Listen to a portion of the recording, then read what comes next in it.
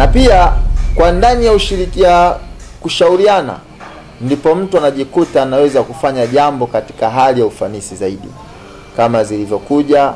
mahaba man, mahaba manistahara wa manadima manistashara. sasa tunaposema itisam maana yake ni kwamba ni kule kushikamana na kujizuia na kuelekea katika kitu fulani kwa maana ya kwamba imani zetu zitakuwa ni imani thabiti pale ambapo tutakapokuwa tumepeleka matatizo yetu kwa mtume sallallahu alaihi wasallam. Sallallahu alaihi wasallam aliwaambia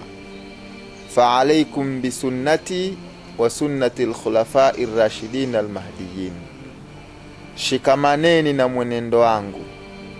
na mwenendo wa makhalifa wangu waongofu, ili kitabu tuonekane tumeshikamana nacho barabara, lazima tuangalie mtume